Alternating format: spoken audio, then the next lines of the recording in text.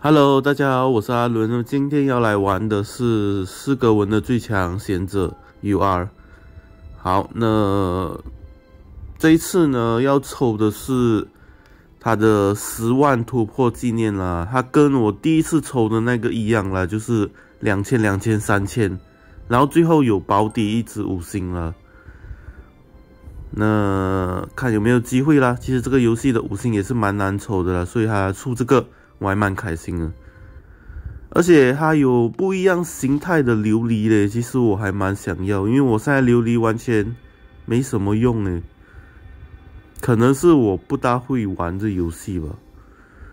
第一个石头 BOSS，很明显了，呵呵。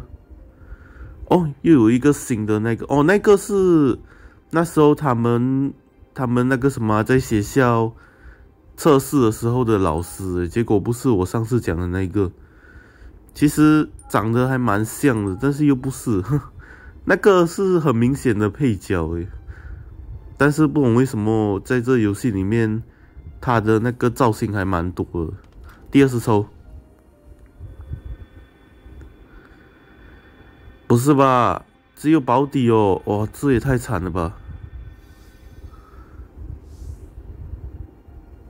哇，惨，有够惨哦，有校长诶。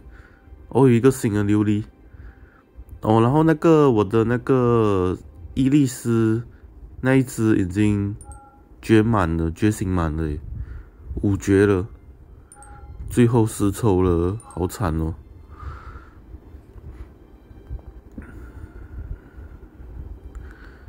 这这次也是有马丁亚斯跟伊丽丝了，但是我主要还是要那个。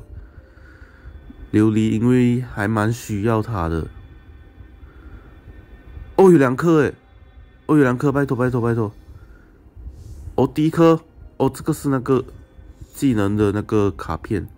哦，这个是那个马丁亚斯前世为了试一个魔法，就把一座山给弄掉了。哦，是琉璃耶，yes。这个其实我也不知道强不强了，主要是我还蛮缺琉璃的。因为他的那个辅助是一个三星，所以我还蛮想要一只五星。好啦，这样啊，好啦，感谢你们收看到最后啦，记得点赞、订阅跟分享哦。对了，是 B 站的话，点个三连关注我吧。我是阿伦，下一部影片再见喽，拜拜。